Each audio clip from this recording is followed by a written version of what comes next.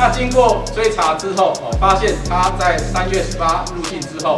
再从台北市一路哦，这个逃窜到新北，新北再一路往桃园、啊高雄来逃窜。那在他逃亡的期间呢，呃，涉嫌呢将他在美国这个强盗的账户加密货币有做部分的一个洗钱的行为。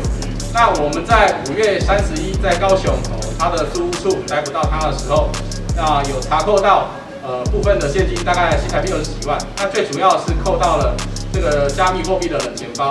那我们的一个分析啊，他大部分抢到的这个三百万左右的加密货币，都还在这个冷钱包中。那依照我们台美签签署的呃这个刑事司法互助的协定，来成功缉获哦美国的重案逃犯。那对于在国内或其他国家触法长期在台的外国人，我们一定会依法侦办啊，不容台湾成为逃犯的天堂。